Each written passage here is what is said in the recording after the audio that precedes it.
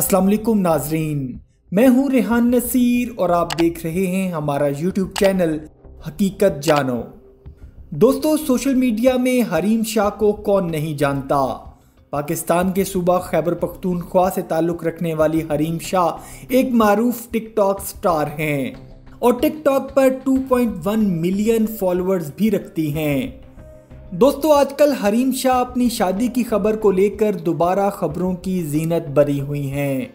और जैसे ही ये खबर सोशल मीडिया पर वायरल हुई तो हरीम शाह ने ट्विटर और दीगर सोशल मीडिया प्लेटफॉर्म्स पर आकर इस खबर की तस्दीक की और एक यूट्यूब चैनल को इंटरव्यू देते हुए उनका कहना था कि उनकी शादी की खबर में मुकम्मल सच्चाई है। और जिस शख्सियत से उन्होंने निकाह किया है, वो पाकिस्तान की एक बड़ी सियासी पार्टी के रुकन हैं।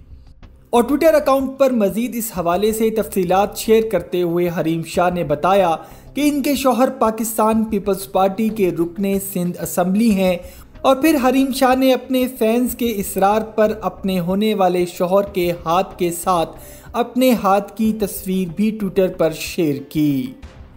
और इस तस्वीर के वायरल होने के बाद तमाम सिंध असम्बली के मेम्बरान अपने हाथों को मीडिया पर दिखाकर खुद को इस स्कैंडल से बरी जिम्मा करने में लगे हैं।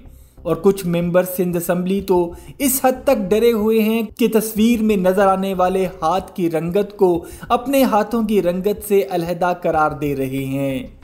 जब हरीम शाह से पूछा गया कि वो बाकायदा अपने शोहर के नाम का ऐलान कब करेंगी तो उनका कहना था कि ये वो अभी नहीं बता सकती। ये उनके फैंस के लिए एक सरप्राइज़ है। और रुखसती के हवाले से उन्होंने बताया कि अभी उनके दो प्रोजेक्ट चल रहे हैं, जिनमें उनकी मसरूफियत है। इनसे फारिग होकर वो इन रुखसती भी कर लेंगी और अपने शोहर का ऐलान भी करेंगी।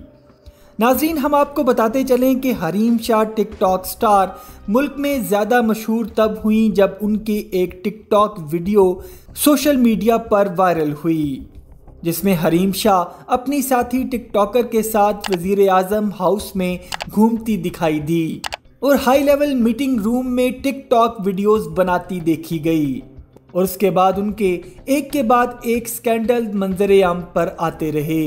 जिनमें मारूफ सियासी शख्सियात, सहाफ़ी हजरात और मुफ्ती अब्दुल कवी को थप्पड़ मारना भी शामिल है। उम्मीद करता हूँ दोस्तों, आज की वीडियो आपको पसंद आई होगी। अगर वीडियो पसंद आई है तो वीडियो को लाइक, शेयर और कमेंट सेक्शन में अपनी राय का इजहार ज़रूर कर दीजिएगा। और जाते जाते चैनल को सब्सक्राइब करके हमारी हौसला अफजाई भी कर दीजिए। अपना और अपने घर वालों का बहुत सा ख्याल रखिएगा। अल्लाह हाफिज़।